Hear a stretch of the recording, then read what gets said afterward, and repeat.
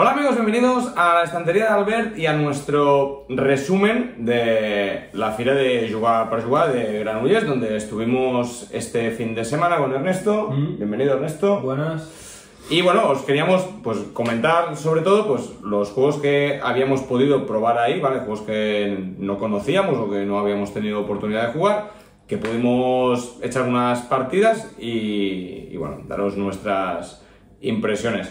Aunque también hay que decir que había algunos juegos que ya sí los habíamos probado y, y no, Sí, no, tuvo, no, no, no los jugamos no, no los jugamos porque solo pudimos jugar a seis juegos, entonces elegimos seis que nos llamaron la atención y que en ese momento pues también estaban libres porque la verdad que había bastante gente Sí. y algunos se nos escapó y nos quedamos con las ganas de, de poder jugar. Sí, nos pasaron dos cosas, tanto juegos que ya conocíamos y no jugamos y juegos que queríamos jugar y no pudimos jugar. Entonces, antes que nada, pues dar las gracias a la organización por invitarnos a participar y a cubrir el evento y a toda la gente que estaba ahí trabajando y colaborando y que nos estuvieron explicando los juegos, que hicieron una gran labor.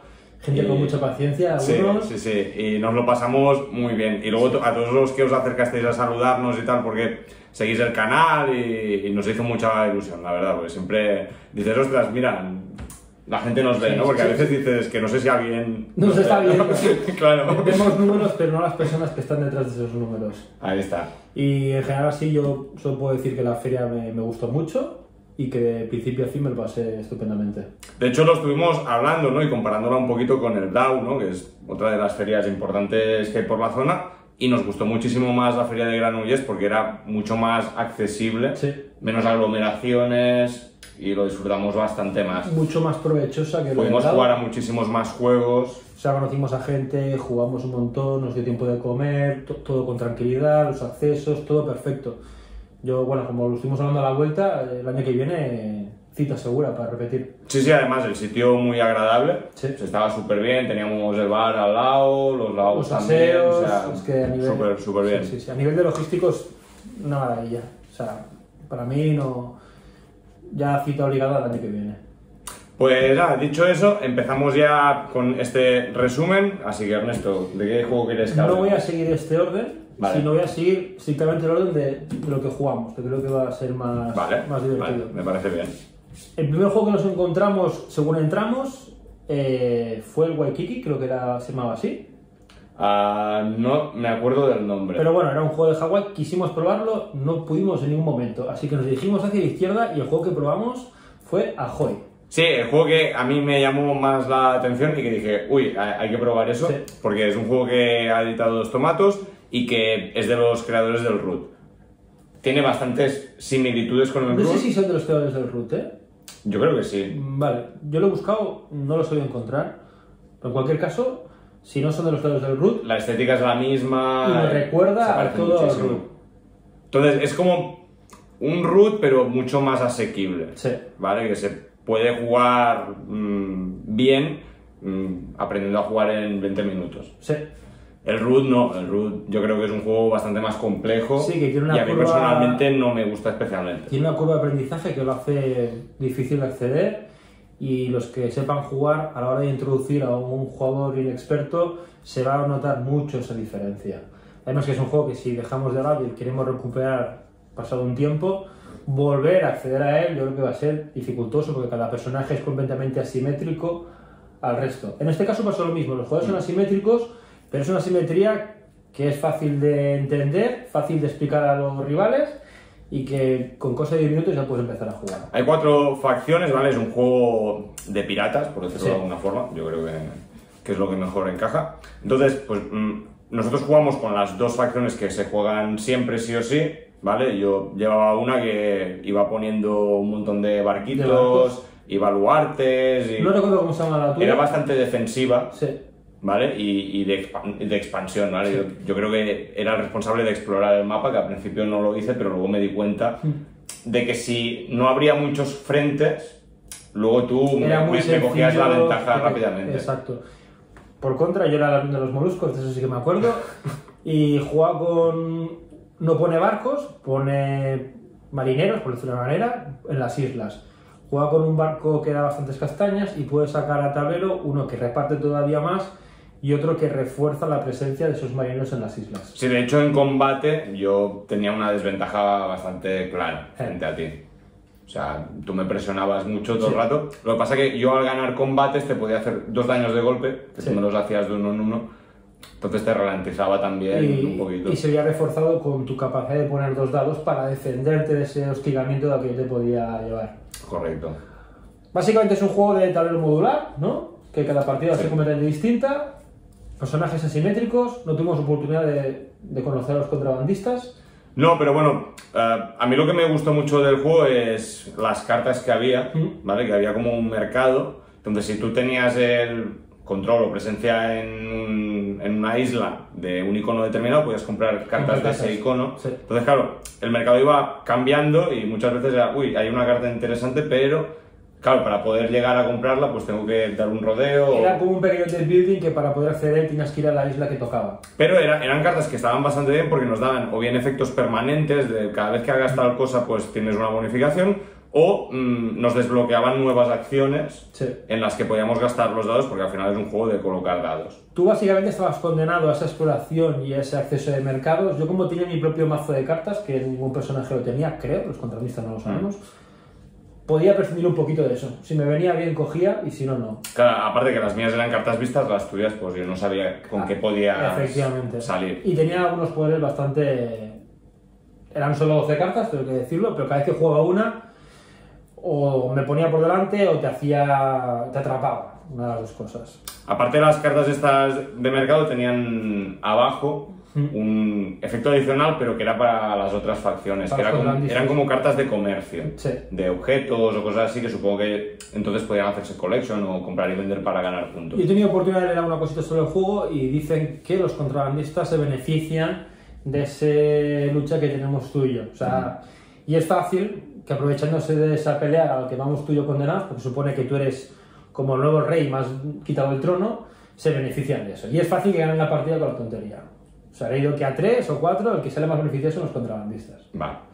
Y ya os digo, es un juego que mm, a mí me gustó, me pareció original y que me gustaría volver a jugar otro Adelante. día, ¿eh? porque me gustaría ver las otras facciones y a ver cómo... Si cómo- quieres recordamos un par de mecánicas, por ejemplo, lo del tablero modular, que es asimétrico, que funciona con dados, que siempre no es una cosa que nos gusta a nosotros, eso de tener un dado... Sí, tenemos un, un tablero individual con acciones, ¿vale? Que obviamente pues cada facción tiene las suyas. Entonces, algunas simplemente ponemos cualquier dado para poder ejecutarlas, pero en muchas pues yo tenía como el handicap de que tenía que ser un número concreto. Sí. Que luego dentro de ahí podía ir bajando, pero para ejecutar la acción tenía que ser de determinado número. Y al final ganaba, se hacía un recuento cada final de ronda, que era por presencia, por mayoría en las zonas, o no, por mayoría en las regiones, ¿no? Mayoría de influencia en las regiones. Sí, en, en cada loseta que había, el que tenía más presencia, pues se llevaba puntos. Sí. Puntos que eh, se iban incrementando conforme avanzaba la partida porque los territorios iban cambiando de valor, iban subiendo. Eso era lo divertido también. Que ¿eh? también Esa- ese control de aumentar, porque al final creo que era que el jugador que iba a ser inicial marcaba el, el incremento de una El, región. el- el que tenía el turno, Sí. al final, cuando se había puntuado, incrementaba la región que quería en uno, Claro. el valor. Sí. Entonces, bueno, está bien porque, pues, eso, ¿no? Pues hacerte fuerte en, en una zona e intentar mantenerla. Sí. Yo también me quedé con ganas de, de más en ese juego. Este es el primero que jugamos y luego a dónde nos fuimos. Fuimos a otra zona de la, lo que sería la nave, ¿no? Buscando juegos y por hacer un poco de tiempo para que queríamos, que luego reseñaremos, acabamos haciendo uno que se llama Dragon's Keepers. El Dragon Skipper, sí, que a mí, a ver, me llamó la atención por el tema de los La- dragones. La estética, un poco la Y temática. dije, oye, pues dentro de lo que hay por aquí, parece sencillo, parece así como un poco de. de hacer colección de sets. Vamos a ver, así. sinceros, yo creo que vimos lo que, como era mesa, que era como una especie de libro, dragones, y vimos ahí como joyas y tal. Y Por temática nos entró bastante. Entra- exacto, exacto. Entonces decidimos probarlo. Eso sí, es un juego muy familiar, ¿vale? No, era un juego muy sencillo Muy sencillo, sí, sí. y, y no tenía mucha chicha, pero aún así me, me pareció original y yo me divertí jugándolo. Es lo que dices tú. El juego creo que duró 15 minutos nomás. Sí, no, la partida era corta. Tuvimos un tercer jugador que además nos conocía, lo cual también se agradeció. Estuvo divertido jugar con otra persona, Sí. porque en el primero solo éramos tú y yo. Claro. Y 15 minutos, el juego no mataba, no era algo que aporta una frescura brutal, pero era entretenido, o sea, cumplió las expectativas de un juego entre juegos, ¿no? Sí. Que podría ocupar una estantería de mucha gente. Sí, yo creo que sí, que como juego familiar es una buena recomendación. Sí. A ver, ¿en qué consistía el juego? Bueno, pues había unas cartas, ¿vale? Que formaban un libro. Ah, por una parte, pues eh, en los reversos había mm, un número, que era el, objetivo que teníamos que cumplir, y en la otra parte de las cartas, en el reverso había colores de dragón, entonces pues tú tenías que conseguir la combinación indicada. Pues se ponía dos y verde, pues si tenías dos dragones verdes, pues podías bajarlos a mesa y te servían para hacer puntos. Sí. O sea, esa es la mecánica y ya está. O sea, Sí. no, no había más. No, Luego ya dentro de eso, pues cómo se desarrolla la partida era interesante. Era interesante. Era una carrera por conseguir puntos haciendo ese tipo de cosas. Y yo creo que el punto más a favor del juego, que por eso al final te deja ese sabor que, aunque sea un juego muy sencillo, fue el que no hay entre, hay entre turnos, pero puedes jugar en el turno de los demás. Sí, de hecho lo estuvimos comentando y a todos nos pareció lo mejor del Lo juego. mejor del juego. Que sepan, vale, yo hago un- mi especie de push your luck, ¿no? Cogiendo cartas, intentando que queden en los reversos pues la combinación que a mí me interesa. Cuando mm, he robado tres o me he plantado, ejecuto bajo mis cartas, pero el resto de jugadores también pueden hacer esa combinación. Sí. Por lo tanto, siempre estás alerta de, De lo de que qué están haciendo los demás porque realmente sí te afecta Sí. y tienes que pensar, a lo mejor la puedes cumplir, pero a lo mejor no te interesa. Exacto. Porque te podías como mm, limitar la mesa porque habían cuatro colores y solo podías mm, jugar dos. Entonces los colores se iban bloqueando cuando tenían mm, cartas a ambos lados. Claro. Entonces estar pendiente al despliegue que hacen los demás y los juegos que se van. Hay los juegos. Los colores que auto- se van autobloqueando te permite jugar con. Da igual, dejo vistas cuatro azules, total, no puedes jugar azules, me da un poquito igual. Y no tenía más el juego, pero bueno, entretenido. Luego estaba bien pues eh, el tema ¿no? de que habían unos amuletos que había que, que ir haciendo. Sí. ¿no?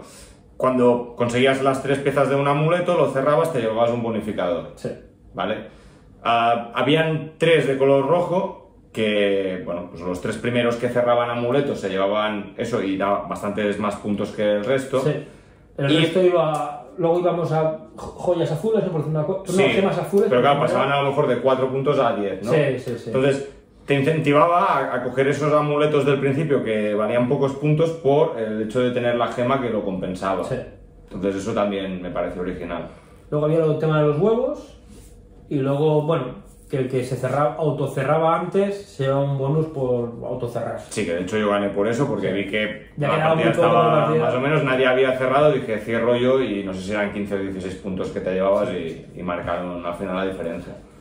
Creadores de este juego que son famosos, eh, Legends of Andor.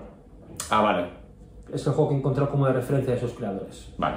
Y yo creo que podemos pasar al siguiente juego. Pasamos al siguiente. Volvimos a intentar ir al juego de antes, tampoco pudimos. Y nos dijeron que nos esperásemos, que más tarde nos dejarían jugar. Así que miramos hacia la izquierda y vimos un juego que dijimos, Bueno, ¿funcionará a tengo, dos? te- tengo que decir que vimos el Scarface, Sí, pero yo creo que no se podía jugar. no se podía jugar. solo estaba el tablero con las Es uno de los juegos que... Que lo hubiera jugado, ¿eh? Lo hubiera jugado a menos una ronda para ver, porque siempre nos llamaba la atención, por, tanto por temática como porque nos han dicho que hay mucho puteo directo. Mm.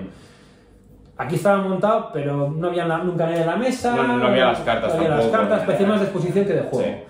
Entonces, volvemos a ir otra vez a ese juego que nos llama tanta la atención, que del cual hablaremos luego, y acabamos jugando otro juego, que también era de los mismos ayudantes, por decirlo de una manera, de azafatos, y era el Samoa. El Samoa, vale, el juego de, de Beer Pocket. Sí, Mm, a ver, dijimos, es un filler rápido, pues Sí. no tenía mala pinta y parecía sencillo, Sí. así que lo intentamos. Y a mí me gustó mucho ese juego. Tal vez no es un juego para jugarlo a dos. desde luego no lo es.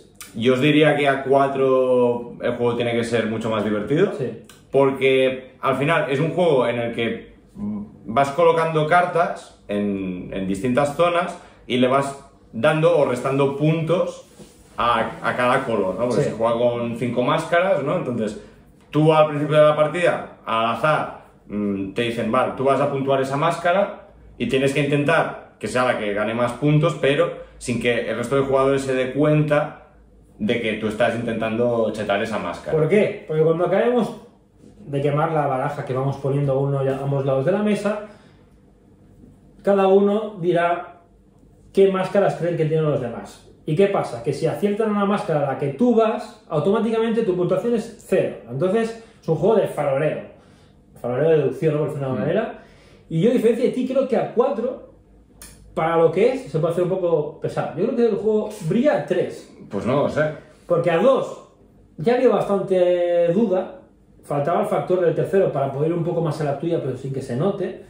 Yo creo que a 4 no era un no. No, no, obviamente. Pero claro, el, el tema ese de, de acertar y tal, claro, si solo juegas dos, es como muy fácil, ¿no? Recordarlo, que tú estás poniendo, Sí, ahora has puesto aquí, ahora has puesto ahí. Si juegas a cuatro, es, yo que hace dos rondas ya no recuerdo a, a qué color le has puesto Sí, cartas, sí. ¿no? Y además, claro, a dos es como cuando hay cinco cartas en una hilera, se cierra. mm, claro, mm, es muy difícil. Por eso creo Es que, a- como es a 5 A cuatro, pues a cinco cartas se cierra la gente hilera. pone cartas y, y no, no puedes controlar nada. Yo creo que a 3 puede estar mejor porque como se despliegan las máscaras en medio, ¿no? Y ponemos cartas arriba o abajo. Y a 5 cerramos. El número impar, creo que eso le da la gracia. Porque al final no se reparten entre arriba y abajo por narices, porque habrá que poner más en... Alguien tiene que hacer más arriba más abajo. Y además la quinta es la que se cierra. Y creo que con 3 ese juego puede tener cierta gracia al ser impar. Al ser par creo que puede compensarse otra vez ese tema de 2 y 2. Yo, de hecho, de, de los juegos así de, ¿De Devil Pocket? de Devil Pocket era el único que me llamó la atención y, Sí. y quería jugar. Luego sí que estaba, por ejemplo, el Autumn, pero lo estuvieron jugando nuestros compañeros del Círculo Friki y ya nos dijeron que, bueno, Fue, fue una de las mesas que estuvo... que, que no, les, no les emocionó, entonces ya no... Todas las mesas o menos estaban siempre llenas. La del Autumn, creo que ya solo a lo mejor por estética, siempre Es que es estaba, muy abstracto. estaba vacía, ¿eh? Y un juego de hojas, Sí. pues como que no llama mucho la atención, ¿no? Tampoco. Y creo que Samoa, el Samoa, de todos los juegos de Devil Pocket que hemos jugado, que no son pocos, yo este lo pondría en el top de los Devil Pocket. De top 3 sí, yo Sí, creo que sí. ¿no? Top 3 de. Devil Pocket sí. Siguiente. Siguiente. Por fin.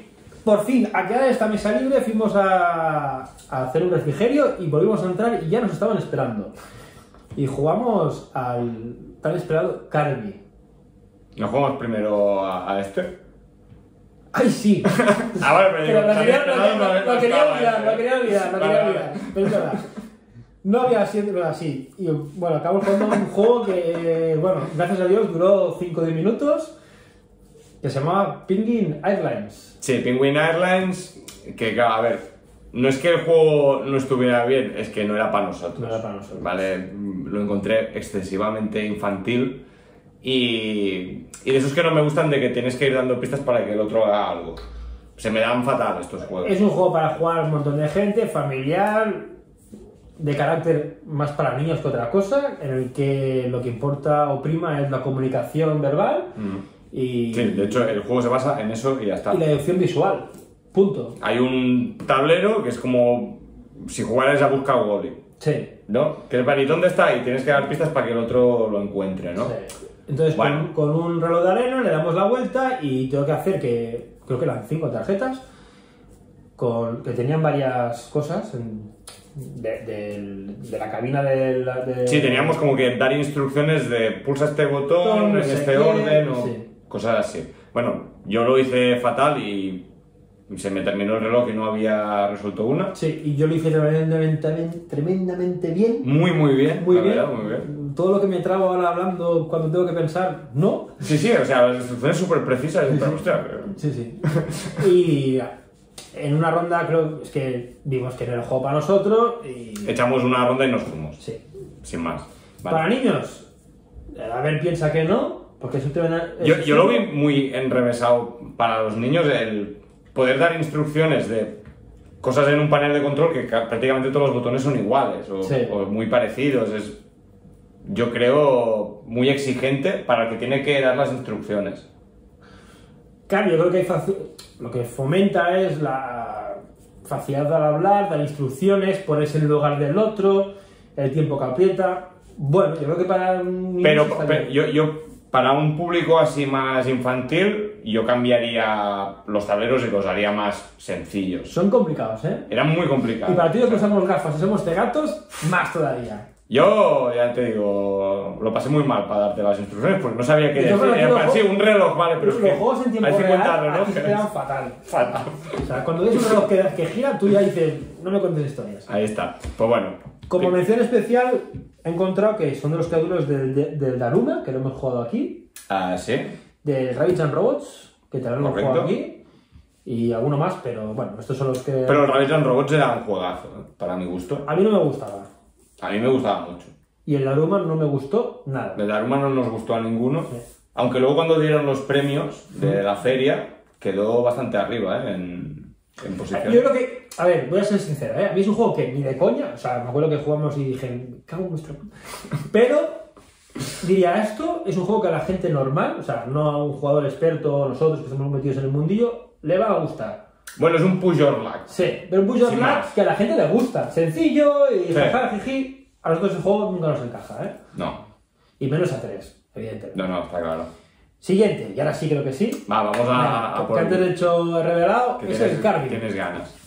El Carby, que la verdad, súper bien. Súper bien. También juego de Beer, que acaba de salir. Y juego de temática de vikingos, muy bien implementada. ¿Mm?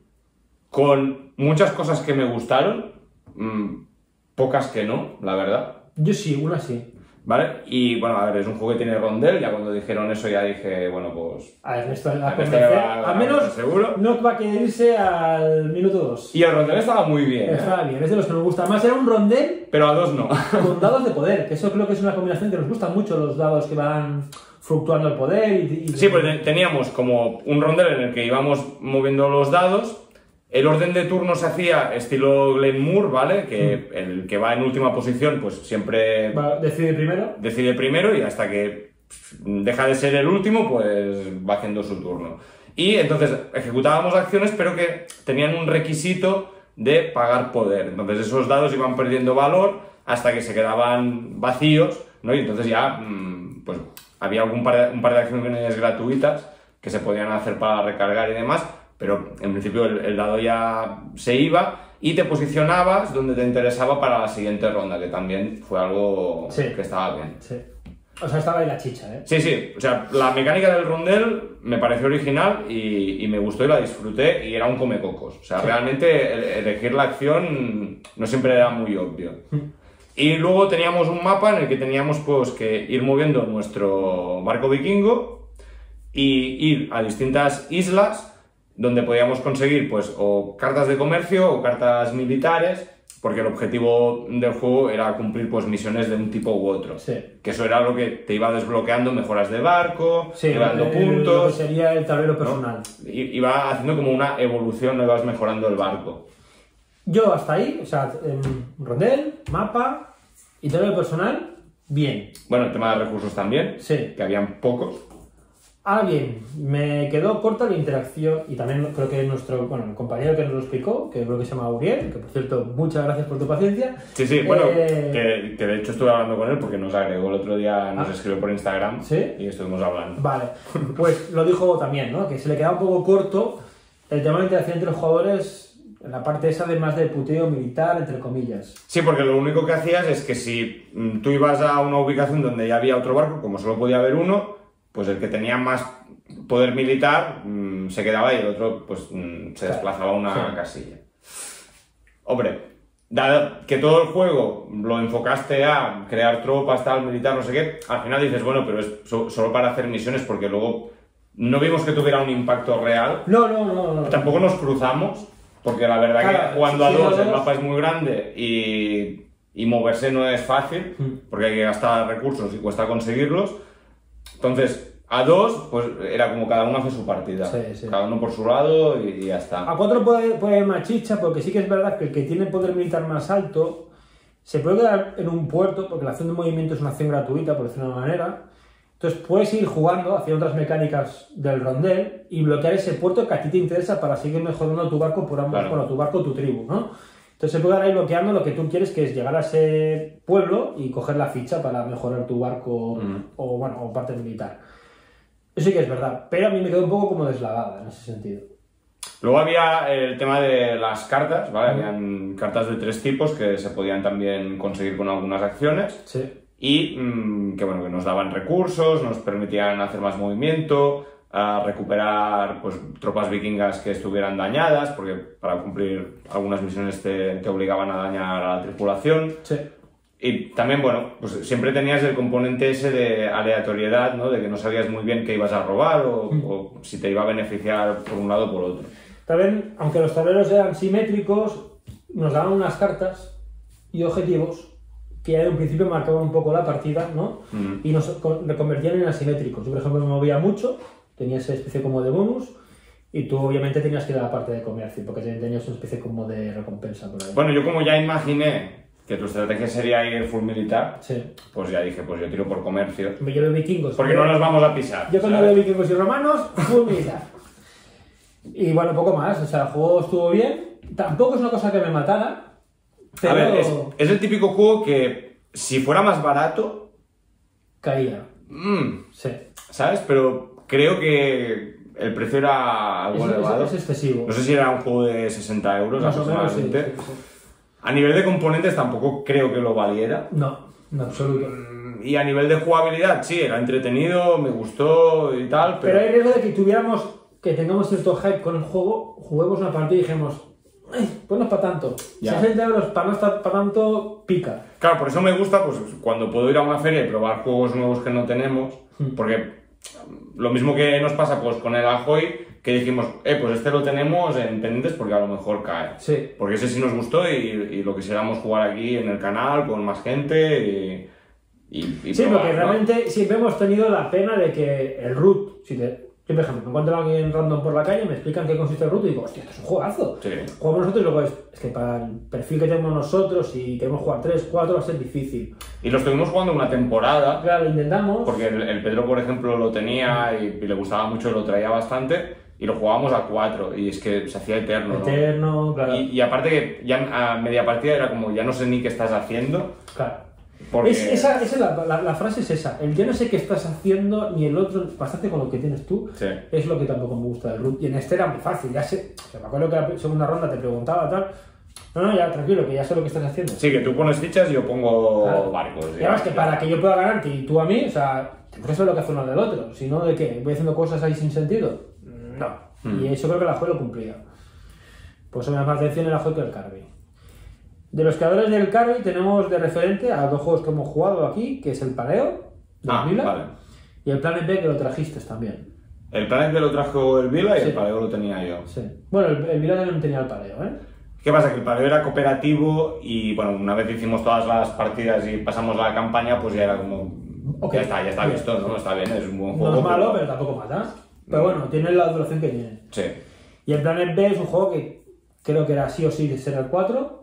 Sí, a mí no me convenció demasiado. Y para lo que es tampoco nos vamos a esforzar.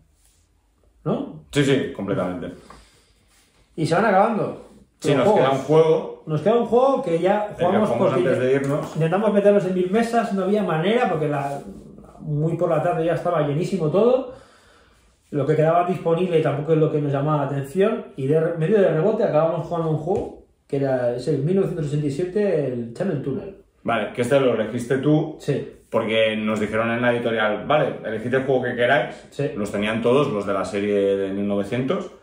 Y tú dijiste, ostras, este tiene buenas referencias y a yo dos- leído una cosita sobre él. Claro, es un juego a dos, ¿no? Sí. Entonces, vamos a probarlo y a ver qué Sí. tal. A mí me gustó, para ser un juego al 2, por el precio que tiene. A ver, tuvimos el pequeño problema de que, claro, el juego no había jugado nadie todavía, Sí. lo despresentamos nosotros, entonces mm, la persona que nos explicó cómo se jugaba mm, nos dijo algunas cosas que no eran exactamente... Sí, porque la persona que estaba como experta en esos juegos en ese momento estaba con otra mesa y tenía dos ayudantes que los pobres iban un poco perdidos, uno más que otro además. O sea, yo me acuerdo que los de la otra mesa tenían que estar ya yéndose los pelos.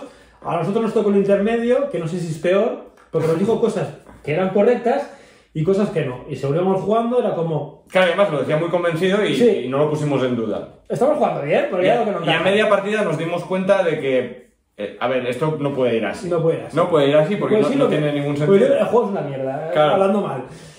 Entonces le pegamos a mirar y dijimos, vale, vale, es que esto tiene más sentido. Tal. Y habían, pues eso, tres, cuatro cositas, pero que eran muy relevantes. Muy determinantes. Y ya, pues, no, al final no terminamos la partida porque no, es que no se podía terminar la partida de ninguna manera. No, no, porque... porque habíamos estado jugando mal casi toda la partida a lo determinante, exactamente. Yo me quedé con ganas de empezar de cero, pero era muy tarde, y jugar de verdad, porque me pareció que para dos, que hay pocos juegos que vienen a dos, Mm. o sea, lo típico de enfrentamiento de toda la vida, este sí que me gustaba. Era muy original el sistema de selección de acciones. Sí. Porque poníamos unos discos de colores, entonces si yo mm, ponía dos discos en una acción para ejecutarla, para que tú o yo la pudiéramos volver a ejecutar, pues alguien tenía que poner tres discos del mismo color, de, Sí. no, no de ese color, sino Con la condena que tenía que ser de la misma pila, que era del mismo color de tu pila, que tiene que coincidir con la pila que hay allí. Exacto. Bueno, vete a saber. Bueno, no, en principio no. Al principio no, pero era de, de tu pila que sumes de 3 para superar el 2, van toda la pila de colores. A ver, para que se entienda, ¿no? Pues si habían dos rojos y yo en la reserva que tenía de fichas tenía tres amarillas, pues ponía las tres amarillas ahí y entonces ya podía ejecutar la acción. Sí. ¿Qué es lo bueno de eso? Pues que las dos fichas que había me las llevaba otra vez a mi reserva. Para hacer una acción de 1. En- no, uno. claro, eran de dos, pues si, yo ya- si eran dos rojas y yo tenía más rojas en mi reserva, Las sumo, las uno. claro, las podía ir uniendo y, ¿sabes? Eso era original porque te planteaba cierta estrategia Mm. de, no, no, dejo que él ponga la acción porque me falta una ficha a lo mejor Sí. y luego se la quito. Sí, sí, sí. Y eso estaba bien. Además, bueno, el juego consiste en a ver quién llega. No, bueno, acaba cuando alguien llega al medio, que será un pequeño bonus. Y tiene que coincidirte esas llamadas fichas, ¿no? Que descartarás para poder abrir. Bueno, si quieres explicarlo tú, porque sí que me voy a perder. A ver, el, el juego está basado en la construcción del túnel que une Francia con Inglaterra. Sí. Entonces, cada uno empieza por su lado, uno es el francés y el otro es el británico, y pu, pu, pu, pu, pu, vamos tunelando y vamos desbloqueando cartas que nos van dando puntos, mejoras, mm, acciones adicionales, y al final, bueno, pues se suman los puntos y cuando alguien ha llegado al medio, pues se suman los puntos y el que tiene más gana. O sea, es sencillo en cuanto a mecánica. Hmm. Sí, sí, sí. Lo que pasa es que luego había muchas acciones que se podían hacer, muchas cartas que daban como combos o, o acciones Sí, adicionales. combitos, no tampoco era ciclar mil combos. No, no, no, pero era para, pues esta acción la puedes hacer dos veces, o Sí. cosas así, ¿no? Entonces, claro, eso sí tenía su chicha, porque tenías que ir am, cavando para tener las fichas que luego te permitían activar los mini combos estos de las Sí. cartas. Y ya está. Me- a mí me gustó una cosa, que pasa que no lo pudimos ver, que era que juego que se gana con 18 puntos. A mí eso de que cada punto valga... o sea, sí, no, no. Lo, contrario no se de sumaba, no se sumaba muchos puntos. Claro, o sea, eso de cada punto eran diferencia es importante. Yo creo que a nosotros que nos, no nos gusta la sala Mm. de puntos, esto ya me pareció que ibas, iba a acertar. Si quieres como mención, te puedo decir que de los jugadores de este juego, a lo mejor este es el mejor que hemos jugado. ¿Por qué? Porque hizo en el walkie-talkie, no sé si te acuerdas del Eh, walkie-talkie, sí, de, de Beer Poker. no te gustó nada. No, Vale. The White Castle. No voy a hablar de ello. Vale. y por último, el Red Cathedral. Me gustó más que, que el otro. Vale. Yo, yo creo que el Red Cathedral es, es el mejor de, Sí, de sí, los sí. que has mencionado. Para mi gusto, ¿eh? Sé que hay mucha gente súper fan del White Castle, pero Aquí no. Aquí no. ¿vale? Spoiler. El Red Cathedral me gustó mucho el rondel. sí, sí. Era muy- hemos, muy guay hemos hablado muchas rondel, veces, sí. sí. ¿vale? Entonces, bien. Sin embargo, no es tal vez de, de esta serie de juegos el, el que yo habría elegido. A mí me, mm, me hubiera gustado probar, por ejemplo, el Cotton Club, Sí. que también es un juego que... De ese hemos leído cosas interesantes. que está bien, he visto algunas reseñas y, y parece interesante. Y luego había alguno así como de aviones o más de guerra, me pareció ver. Más que como también el- parece interesante. game, ¿no? Sí, luego bueno, estaban los típicos, ¿no? Pues el. el ¿Cómo se llama? El Fantasy Realms, el Remix. ver, sí, pero obviamente eso lo, lo. Bueno, que son de la misma editorial, pero sí. esos ya los hemos tenido, ya los hemos reseñado, por lo tanto no, no volvimos a jugarlos. Sí. Y ya está. Y con eso Más. es todo. No, no hicimos tampoco mucho más. O sea, Ah, no sé, ¿hubo algún otro juego que te quedaste con ganas de, de ver? Tal vez. Yo el, el Rebel Princess lo quería jugar y ya sé que a ti no te hacía mucha ilusión, pero bueno, a mí me parece que podía estar chulo. Pero bueno, también era de las mesas que siempre estaban llenas. Siempre ¿eh? estaba lleno. Siempre estaba No- lleno. no lo O sea, pudimos- aunque hubiera, que- yo hubiera pasado por algo, que hubiera pasado, evidentemente, no, no pasa nada. Para que elegí, pues elegí- hubiera elegido otro. Era las mesas de las que siempre estaban llenas, por lo tanto debe ser un éxito. O sea, Mm. es que había mesas que estaban siempre llenas. O sea, la de Ajoy siempre estaba llena también. Sí. Tuvimos mucha suerte de colarnos de buena mañana porque fuimos pronto. Pero, por ejemplo, la del Carmi también siempre estaba llena. No sé Ya, si pero, siempre, porque... pero siempre estaban los mismos. Sí. Bueno, no- era, era un juego que cuando te sentabas, ya por obligación te quedabas una hora. Entonces, no sé si es mérito de Eh, cambio. cada o- vez que pasábamos veíamos la misma gente ahí sentada. Pero, claro, pero- pero, por ejemplo, el. Samoa siempre también estaba lleno. Salvo a la mañana que Sí, era poca gente, sí, sí. pero siempre estaba lleno. Sí, sí. Y luego de El Penguin Airlines siempre estaba vacío. siempre estaba vacío. Es más, el chico que estaba ahí estaba ahí sentado Sí, así. era daba una poco de pena, ¿eh? Porque esos zapatos ahí, todo apresurado. ¿Qué haces? Estar para aquí, para allá. Todos que no Y había podíamos uno en subir. la esquina que estaba así, que es en plan, que hay que le dé un café al pobre hombre porque se va a dormir. Una pena, a mí me da un poco de pena, ¿eh? Tampoco, a ver, joder, tampoco tan malo como para que... No, a ver, pero eso es lo que hemos dicho, o sea, juego para niños. Sí, encima estaba rodeado de juegos que no eran para tan niños. No, porque estaban los de ABA y demás Sí, en, en la en otra los, sí, de sí. Peu de. Sí que había juegos infantiles, pero no tan radicalmente infantil. Y luego, a mí me hubiera gustado probar algún juego de GDM porque vi algunos por ahí que parecían interesantes, pero también solo estaba Pac ahí en el stand y. Yo me quedé co- con, esa zona, que no sé cuál era el otro, si Siempre era estaba llena la mesa, Games o algo así. Ah, que- ah, sí, que viste un juego también. Sí, el- el intenté varias Magic, veces. ¿no? Sí, bueno, había dos, ¿no? De Magic y luego otro que era especie como de proto, con una especie como de cuatro torres en las esquinas. Bueno, no. Sí. me llamó estéticamente, no sé de qué iban y bueno, mala suerte. Pero también siempre estaba lleno esa zona. ¿Llena o nadie que atendiera? Una de las dos. Pero por la tarde imposible. Mm. Y luego había otro que era un prototipo, que era así medieval, como de hacer tu castillo, en plan Eh, ese siempre estaba lleno. Que sé, ah, lo estuve consultando luego cuando volvimos porque me llamó la atención y he visto que está en campaña Kickstarter. Vale. Que creo que la está, o sea, está ahora mismo que se puede comprar Estética- Kickstarter. Estética y temáticamente llamó mucho la atención. No sé de Sí. qué va, ¿eh? Pero ya por los ojos decías, uh. ¿qué Claro, a, lo, a lo mejor les escribo y les pido que nos manden el proto para poder hacer una partida y enseñarlo porque parecía chulo. Sí, sí. Además eran los únicos que tenían, ¿cómo se llama la bandera esta? Eh, no me sale. Un roll-up, por lo cual llamaba mucho la atención, porque tenía un roll-up ahí gigante. Sí. Y ya solo viendo roll-up con castillos y tal, ya te entraban ganas de jugar. No sé si me olvido algo. No, yo creo que no. Luego ya estaba lo que dices tú, la zona más infantil, Sí. ¿no? Pues con las editoriales que hacen juegos infantiles, ahí no nos metimos, dimos un vistazo a saludar a los expositores y tal que conocemos y poco más. Sí. Bueno, no sé si quieres algo del evento del mediodía, cuando fuimos a la entrega de premios. Sí, luego a- al mediodía nos invitaron a la entrega de premios de, de Ludo Qualitas, de Ludo Qualitas Plus, luego unos de prototipos y tal. De prototipos no voy a hablar porque mm, realmente no sé nada sobre ellos, entonces no sé si los que ganaron estaban muy bien o no. Lo, lo que sí os puedo yo hablar... con ganas por, por el que ganó, que era. No sé qué, de Meter. Sí. No me acuerdo de la primera parte. Ese me llamó la atención. que ¿Tú, era- tú viste? No sé si era este, uno que era así como de vampiros, ¿no? Sí, que era así. Ese, me llamaba la atención. Asimétrico y enfrentamiento.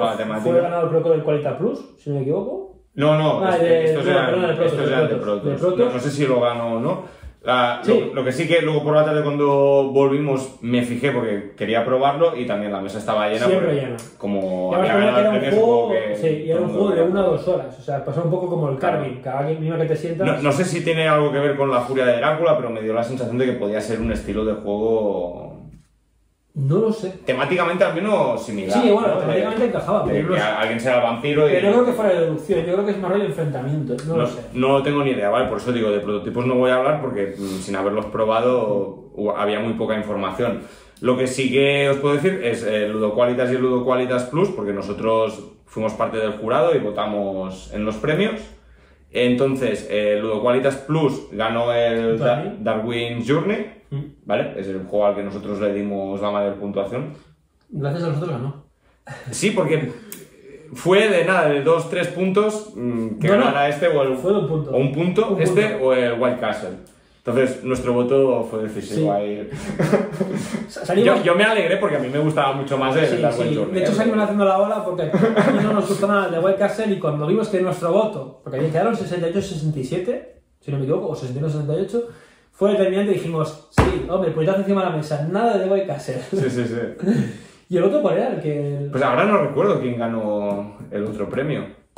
Claro, como nos quedamos con esta canción de. Sí, bueno, no, es que fue un día largo eh, también. Sí, sí. Ya, no recuerdo, pero bueno, que... También nos pareció acertado. Me Sí, acuerdo que es- dijimos, estaba sí, bien. se lo merece. Dentro de los que había para votar, que a lo mejor... A ver, claro, son juegos de creación española que han salido durante ese año, entonces el pool de juegos es muy limitado. Ah, yo me acuerdo, yo me acuerdo. Sí. De algo. Em, no me acuerdo del nombre, pero fue el, de la, fue el de la videollamada. No, el de la videollamada era un proto. Ah, era un proto también. Sí, sí. Vale, entonces No, no, no, me acuerdo. Vale, entonces nada, nada, nada. No, no, no, no voy a decir porque no, Sí, sí. no estoy seguro. Pero vamos, que... Ah, vale, eran los chicos de atrás. Los que estaban atrás, justo atrás. Pero no me acuerdo de qué iba el juego porque no lo conocíamos, por eso no nos acordamos directamente. Pues claro, había pocos juegos y la mayoría pues no los habíamos probado, entonces mm, seguramente pues ganó alguno pues que no, No conocíamos. jugamos, ¿no? Vale. Sí, sí, ahora me acuerdo. Ganó el chico, los que teníamos detrás, pero ni idea, no teníamos ni idea. Y el nuestro que votamos creo que quedó tercero o cuarto, una cosa así. Sí, pues quedó en el top 3, yo Sí, creo. sí. Respecto a lo que ganó uno de los premios, que sí que nos llamó la atención, fue el barrio. Que a ver si la gente nos puede decir algo. Ah, pues era este. Ah, era este. Era este, el. Vale, vale. Precisamente, eso. Es que digo, ese juego no lo había escuchado en mi vida, mm, no tengo ni idea de qué va, Entonces no eran los chicos de atrás. pero no, es que los que dices tú eran prototipos. Vale, vale, vale, vale. Pero ganó de paliza. Sí, O sea, pero somera paliza. O sea, no había nadie que le hiciera sombra. como el doble de votos que el segundo. Sí, sí. Y es en plan, vale, y, y yo no sé ni que existe ese juego. Sí, sí. Qué raro, ¿sabes? No se me suelen pasar los pelotazos por alto, ¿no? No es- sabes que existe, al menos, ¿no? Como barrio en votos, seguramente ha habido gente que nos sigue que lo ha jugado y si nos pueden decir algo por reseñas o... Ahí está. Nos dejáis un comentario y si lo habéis probado, si os ha gustado o no y de qué va. Al menos nos enteramos un poquito. Ya buscaré yo también información y si el juego está bien, pues lo traigo un día. Sí, sí, sí. Vale, a probar, pues a que es eso, es que no sabía ni que existía. Exacto. Entonces fue como. ¿Y ese que va ganando tantos puntos? Sí, sí, ¿Qué porque fue guay porque pusieron una especie como de cinemática, ¿no? Que La evolución de los votos. por días y pu, pu, pu, pu, y salía. Que además yo como soy consciente de que voté de los últimos, pues Sí. yo, yo era el, el penúltimo o así de los votos siempre, Sí, ¿no? sí. Porque se me olvidó y... Claro, por eso cuando salió el Journey, que iba perdiendo y iba remontando, remontando y ahogando con el voto final, fue, mira, a ver, tu voto de retrasado. Venga, Sí, sí. pues... Pues nada, hasta aquí nuestra reseña ¿no? de lo que fue la, la feria de Granollers. Esperamos que os haya gustado y esperamos veros el año que viene, porque nosotros volveremos a ir, volveremos a estar ahí jugando. Y si os queréis echar una partida con nosotros, pues yo creo que es un buen día para aprovechar y, y decir, oye, pues nos veis por ahí, jugáis a tal cosa y nosotros nos apuntamos. A mí me hizo mucha gracia porque nos van a decir que jugamos al Mimbu con ellos. Nos lo podemos llevar el año que viene. Eh, sí, la, Para la mesa reservada que mesa teníamos. reservada que no utilizamos en absoluto, bueno, ni nosotros ni nadie. Claro. Podemos llevar y decir, mira, un Mimbu, ¿cómo jugamos en casa? Jugamos así con estas cartas. Lo apuntamos para el año que viene. Pues nada, hasta aquí el vídeo y nos vemos en el siguiente. Un saludo.